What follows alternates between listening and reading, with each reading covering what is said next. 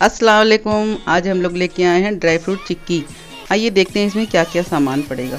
देखिए, हमने ये नारियल का लच्छा लिया है, एक कटोरी, काजू लिया इसको हमने दो टुकड़े में काट लिया है, ये बादाम लिया इसको हमने दो टुकड़े में काट लिया, और ये अखरोट को हमने चार टुकड़े में काट लिया इसको छोटा थोड़ा कर लिया। इलायची पाउडर चीनी है आधा किलो इसमें। आप चीनी इसमें ज़्यादा भी कर सकती हैं। जितना आप पतला बनाएँगी, उतना चीनी आप ज़्यादा भी कर सकती हैं। कम भी कर सकती हैं इससे चीनी। ड्राई फ्रूट भी आप अपने पसंद से ले सकती हैं, जो भी आपको पसंद हो, वो डालिए आप उसमें। आइए बनाते हैं। देखिए, हमने एक कढ़ाई चढ़ा दिया, उसमें हमने एक चम्मच देसी घी डाला। अब इसमें हम जो ड्राई फ्रूट जो है, फ्राई कर लेंगे थोड़ा। उसके बाद जो है, बनाते हैं। आइए देखते हैं।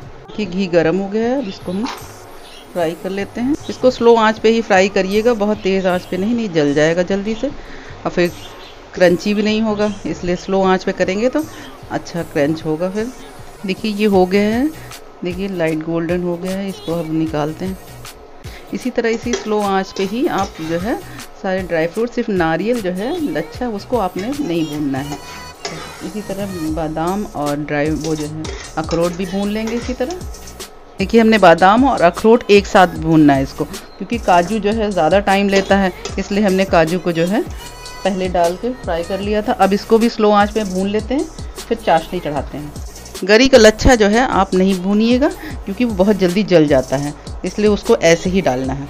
ये देखिए, ये भी हो गया, इसको भी हम लोग निकाल लेते हैं। देखिए, इसमें हमने 100 एम पानी डालना है और 250 ग्राम चीनी डालना है।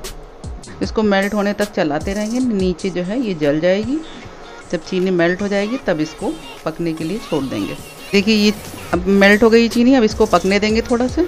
पाँच मिनट के लिए आप इसको मीडियम आँच पे रखिएगा और फिर इसके बाद हम लोग प्लेट में बटर पेपर लगा के ग्रीस कर लेते हैं उसको।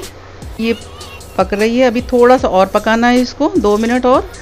फिर इसको देखते हैं, अभी देखिए तार नहीं बन रहा है इसमें। जब ये तार बनने लगेगा, तब। अब हम लोग बटर पेपर लगा लेते हैं, जिसमें हमको जमाना है। ये देखिए, ये प्लेट है। ये प्लेट में हम ये बटर पेपर लगा के इसके ऊपर घी लगा लेते हैं। देखिए, इसको घी लगा के ग्रीस कर लेते हैं। आसानी से निकल जाएगी चिक्की। ऐसे ही दो प्लेट में हमने लगा लिया है। आपके पास अगर कोई चीज़ हो, बड़ा चौकोर या गोल कुछ भी हो तो आप उसमें एक ही में जमा लीजिएगा। हमारे पास बड़ा नहीं था तो हमने दो प्लेट में कर लिया है ऐसे। कि ये हो गया है। ये दो तार की चाशनी इसमें चाहिए।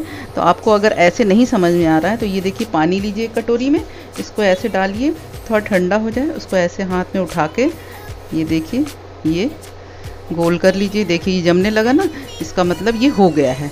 इस तरह, अब आपको इसमें ड्राई फ्रूट डाल के जमाना है। इसमें हमने इलायची पाउडर, देखिए पाँच छः इलायची का पाउडर हमने कूट लिया है, उसको डालते हैं।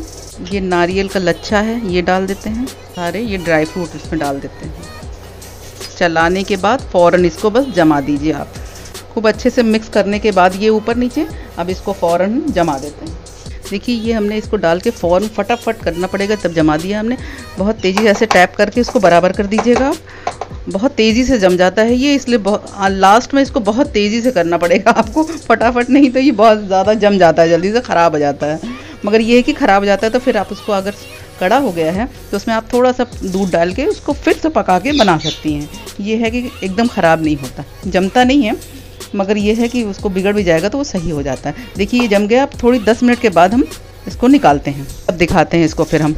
बन के तैयार हो गया है। आप लोग इसको बनाइएगा और अगर अच्छा लगे तो कमेंट करिएगा। इसे लाइक करिएगा, शेयर करिएगा, सब्सक्राइब करिएगा। अल्लाह हाफिज़।